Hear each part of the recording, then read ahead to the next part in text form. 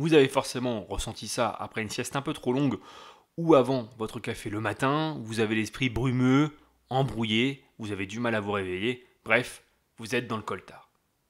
Une expression qui tire son origine de l'association de deux mots anglais.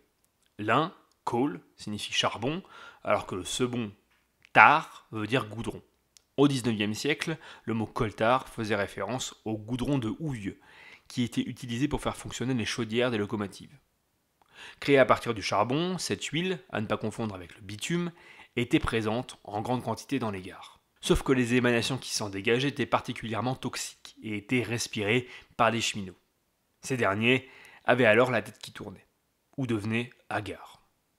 Avec la fin des locomotives à vapeur, l'expression a quitté la sphère industrielle et s'est peu à peu étendue à tous les domaines.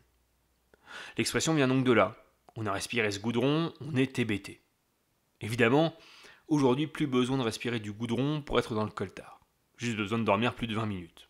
Alors oui, désolé, un anglicisme de plus, mais si vous voulez vous la péter le prochain coup, vous pourrez dire que vous êtes dans le goudron de houille, mais je ne sais pas si en face on vous comprendra. Ce qui est étonnant et marrant, c'est que les Anglais, eux, ne sont pas dans le coltard, mais plutôt out of the lunch, ce qui veut dire partie déjeuner. En Argentine, ce sera estar en las nubes. Comprenez, être dans les nuages.